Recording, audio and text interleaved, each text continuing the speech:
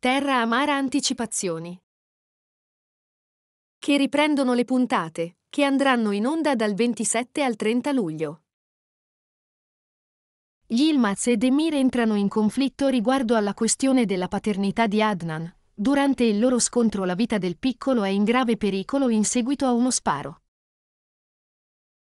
Durante una cena in famiglia, Yilmaz trova il momento opportuno per condividere con tutti la sua decisione. Prima di farlo però, desidera esprimere le sue scuse a Fekeli Beige e Fikret per averli costretti ad assistere alle intense discussioni e liti fra lui e sua moglie. Akkaya prosegue con il suo discorso rivolgendosi direttamente a Mujgan riconosce che non ha senso continuare a essere legati da un matrimonio che ha perso il suo significato per questo comunica. Desidero il divorzio, per nostro bene e soprattutto per il bene del nostro figlio, insiste, sottolineando che sarà sempre presente nella vita del figlio. Akkaya aggiunge anche che intende discutere con il suo avvocato per accelerare il processo di divorzio, ma si rende conto che Mujgan non gli faciliterà le cose.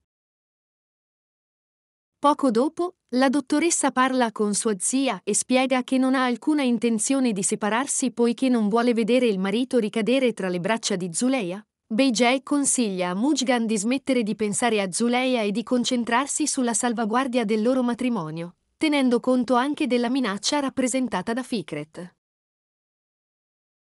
Nel frattempo, Demir torna in villa carico di regali e con l'intenzione di riunirsi con sua moglie e i suoi figli, Tuttavia la tensione raggiunge l'apice quando quest'ultimo pieno di rabbia. Interroga Zuleia sul piano di fuga. Quella notte, grazie al sostegno della matriarca, Zuleia confessa ad Emir che Yilmaz sa che Adnan è suo figlio e che è giunto il momento di porre fine al loro matrimonio. Un discorso logico e sensato, ma che Demir non è disposto ad accettare. Infatti anche lui rifiuta la proposta di divorzio. Adesso non è più un segreto che Adnan sia figlio di Yilmaz, ma la rivelazione di Zuleia coglie Demir di sorpresa, poiché ora è convinto più che mai che Akkaya possa rivendicare la paternità del piccolo Adnan. Determinato a mantenere il controllo su Adnan e a non permettere a Yilmaz di portarlo via, Demir decide di organizzare una sontuosa cerimonia di circoncisione per il piccolo, e non esita a invitare l'intera città a partecipare, Nonostante sia Zuleia che Unkar cerchino di persuaderlo sull'età prematura del ragazzino, sebbene lo Yaman fa sapere a loro che ha preso la sua decisione e non ha alcuna intenzione di cambiare idea. La mattina seguente Demir annuncia questo evento in città, in modo che tutti ne fossero a conoscenza. Di solito, nella tradizione la circoncisione viene eseguita intorno ai dieci anni, per questo Zuleia crede che suo marito cerchi di sfruttare il piccolo Adnan per dimostrare la sua supremazia. Poco dopo questa notizia arriva alle orecchie di Ilmaz tramite Cetin. Akaya arrabbiato si precipita in villa Yaman per affrontare Demir e reclamare la paternità sul bambino. Con una voce carica di preoccupazione, Ilmaz si rivolge a Demir, ponendogli una domanda diretta. Che intenzioni hai nei confronti di mio figlio? Voglio che tu sappia che non lascerò questa villa senza Adnan al mio fianco.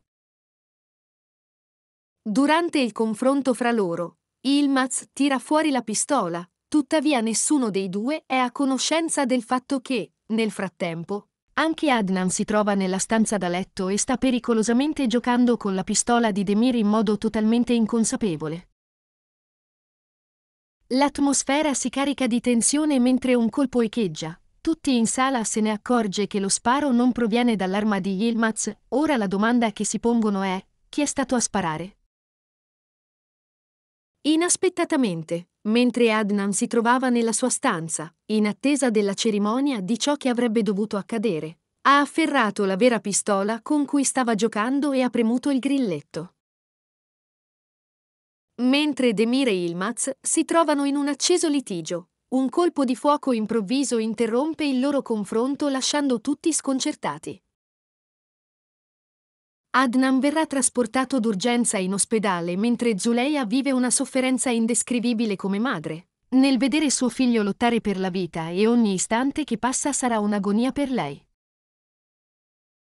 Poco dopo, Mujgan arriva in ospedale e Zuleia viene colta da un accesso di nervi quando scopre che anche la dottoressa sarà presente all'ambulatorio dove sarà operato suo figlio. La protagonista crede che Mujgan possa danneggiare Adnan in qualche modo.